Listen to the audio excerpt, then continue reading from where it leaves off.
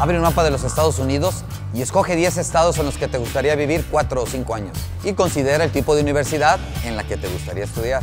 Es muy importante pensar qué te ofrece cada escuela más allá de su programa de fútbol. ¿Te gustaría vivir en una ciudad grande, en una ciudad pequeña o incluso en un área rural? ¿Te gustan las grandes universidades con muchos estudiantes o prefieres lugares donde haya menos estudiantes? ¿Vas a estar tranquilo si estás en un lugar alejado de tus padres y amigos? Recuerda, vas a estar ahí por 4 o 5 años. Imagina cómo será tu vida cuando no estés en el campo de fútbol.